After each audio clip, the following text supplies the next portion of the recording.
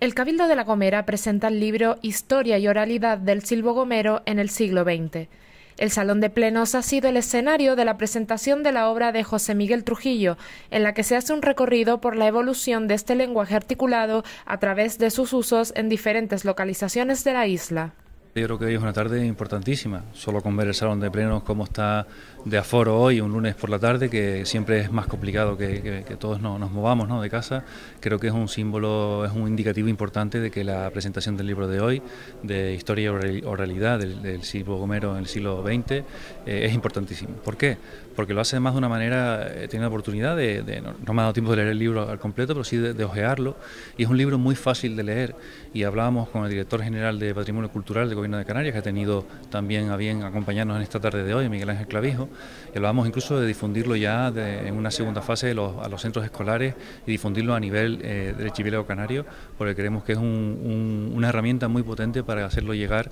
en la época ¿no? en la que se basa el, libro y además con un testimonio de personas, de, personas que tenemos entre, entre nosotros, algunos tristemente, y recuerdo para ellos, han fallecido en este tramo en que se ha editado este, este libro, pero sin lugar a dudas queda su huella en este, en este manuscrito y, es lo que tenemos que tener en cuenta. ¿no? Y además lo hace de manera que engloba todo el territorio de la isla de La Gomera, eh, haciendo, eh, hilando ¿no? todas las entrevistas, todos los, relatos de estos personajes, de estas personas que eh, en diferentes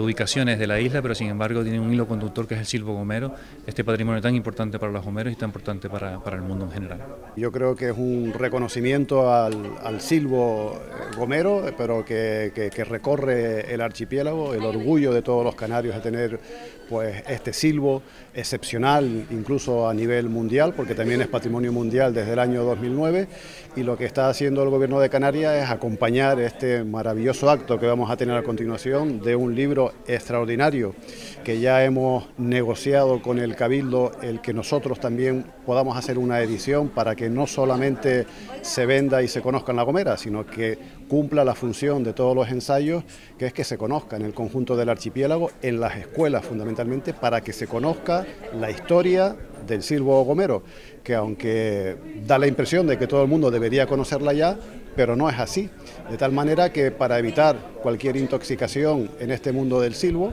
pues este libro va a ser recomendado por el Gobierno de Canarias en todos los sitios, porque es lo que, lo que se merece un libro de una extraordinario, vamos a decirlo así, un libro maravilloso, muy bien escrito, da la impresión de que ha sido un maestro el que ha estado detrás eh, redactándolo y además con sorpresas que yo mismo no conocía, unas entrevistas maravillosas en los años 30 del siglo pasado que creo que no van a pasar desapercibidas. Estamos muy contentos de estar aquí acompañando al autor y al Cabildo de La Gomera. Eh, primero, empezar diciendo que se trata de un proyecto del Cabildo Insular de La Gomera, Unidad de Patrimonio Histórico, Museos Insulares, es decir, hay un montón de gente, no soy yo el autor exclusivo, sino que hay un montón de equipo, un equipo de trabajo que ha apoyado y ha desarrollado el libro. Eh, ¿En qué ha consistido? Pues básicamente en recopilar información de carácter histórico por un lado y eh, información oral por otro, es decir, hacer entrevistas a personas mayores que vivieron el tiempo en el que el silbo estaba, era una práctica común, diaria, cotidiana en el territorio de la isla de La Gomera, en toda La Gomera, y a partir de esa información organizarla en un texto que nos explique cómo fue esa historia.